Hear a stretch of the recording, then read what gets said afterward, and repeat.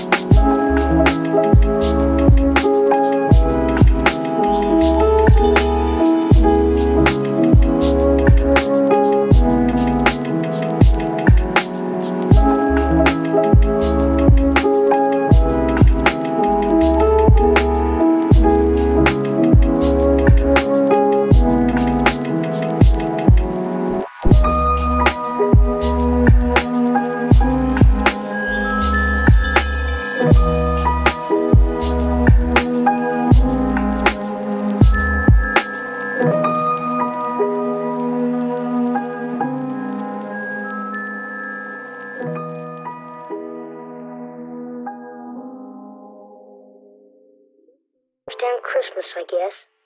I like getting presents and sending Christmas cards and decorating trees and all that, but I'm still not happy.